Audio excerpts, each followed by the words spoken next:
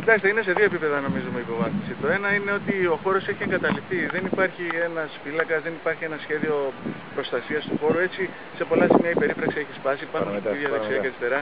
Η παρατήρηση του χώρου δυσκολεύεται πάρα πολύ από τη βλάστηση, η οποία δεν φροντίζουν κάποιοι να δημιουργήσουν τουλάχιστον κάποια κενά, ώστε να είναι παρατηρήσιμος ο χώρος για να προκαλεί και τον επισκέπτη να έρθει εδώ πέρα. Και εν πάση περιπτώσει, ο υγροβιότοπος ήταν ένα στοιχείο του τόπου μας, φυσικής ομορφιάς του τόπου μας και ιδιαιτερότητας, η οποία εντάχθηκε σε προγράμματα, αξιοποιήθηκε, μπήκα, ξοδευτήκαν χρήματα και έπρεπε να ενταχθεί στην δική μας καθημερινότητα, στη δική μας ζωή, με όρους προσφοράς, με όρους θα λέγαμε εξυγχρονισμού της ζωής μας. Βλέπουμε λοιπόν ότι σε αυτό το επίπεδο υπάρχει μια οπισθοχώρηση. Αν πάτε στο παρατηρητήριο θα δείτε ότι είναι κλειστό, τα κάγκελα, τα ξύλα είναι σπασμένα.